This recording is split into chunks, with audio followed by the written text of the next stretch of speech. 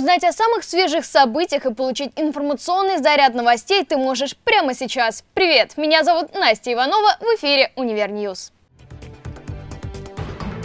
Состоялась церемония открытия 13-й международной научно-практической конференции «Державинские чтения». День мира широко отпраздновали в Казанском федеральном университете. Делегация МЧС России посетила Центр симуляционного и имитационного обучения в Казанском федеральном 21 сентября состоялась церемония открытия 13-й международной научно-практической конференции «Державинские чтения». Эта конференция будет проходить на базе Казанского федерального до 23 сентября.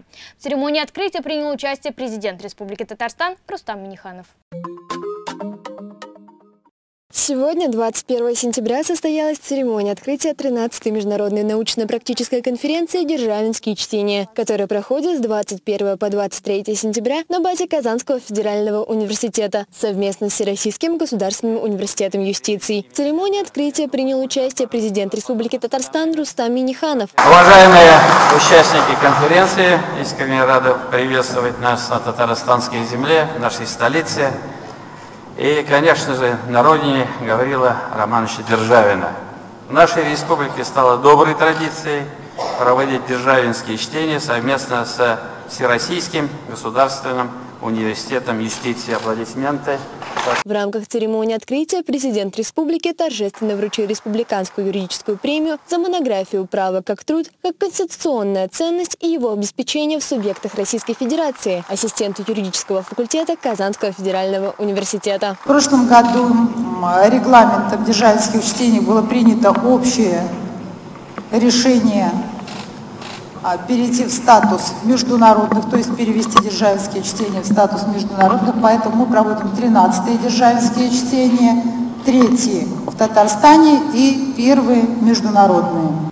Имя Державина так или иначе связано и с историей нашего Казанского университета.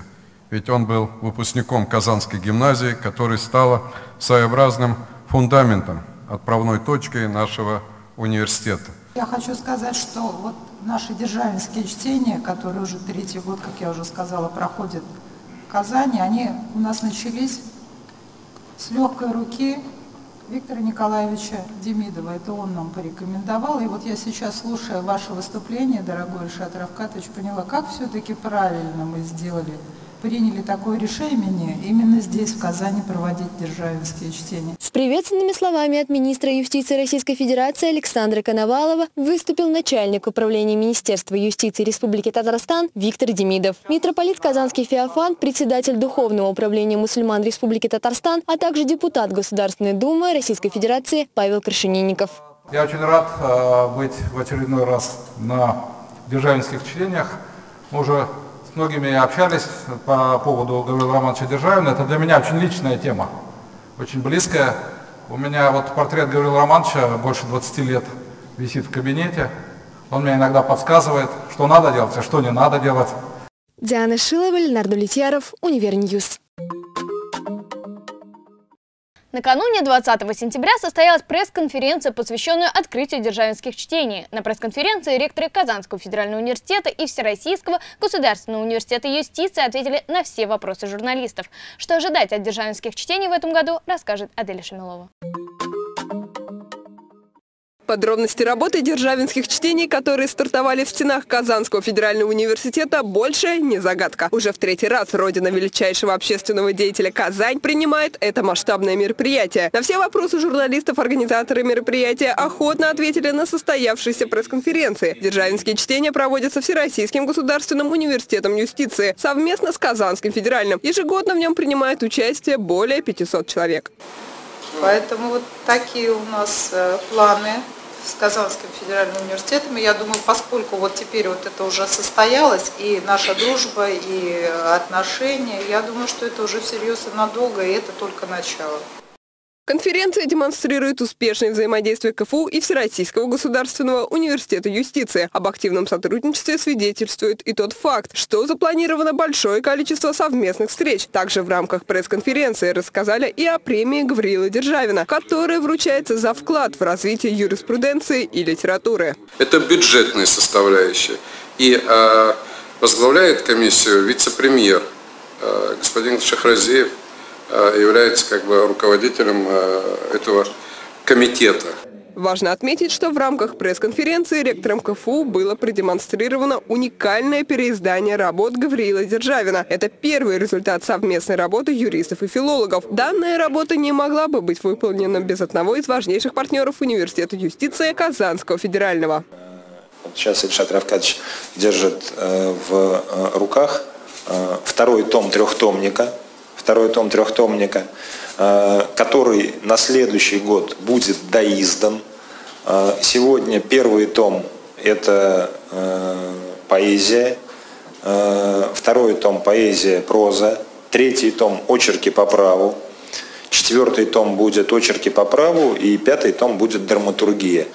Имя победителя в номинации «Юриспруденция» так и осталось загадкой. Но и оно уже станет известно совсем скоро. Интрига раскроется во время открытия 13-й международной научно-практической конференции «Державинские чтения». Аделя Шамилова, Ленар Довлетьяров, Универньюз. 21 сентября во многих странах отмечают День мира. По всей планете проходят акции, митинги и другие мероприятия в поддержку мира во всем мире. В КФУ уже стала традиция отмечать этот знаменательный день.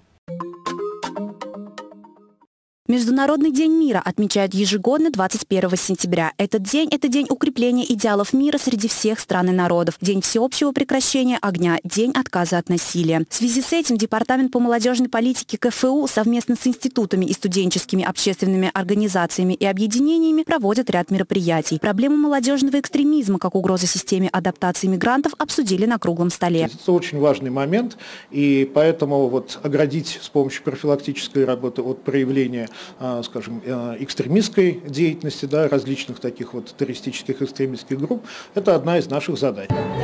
В этом году Международный день мира проходит под лозунгом «Вместе на благо мира. Уважение, безопасность и достоинство для всех». Студенты Казанского федерального университета подготовили акции, приуроченные к этому дню. Давайте узнаем, какие.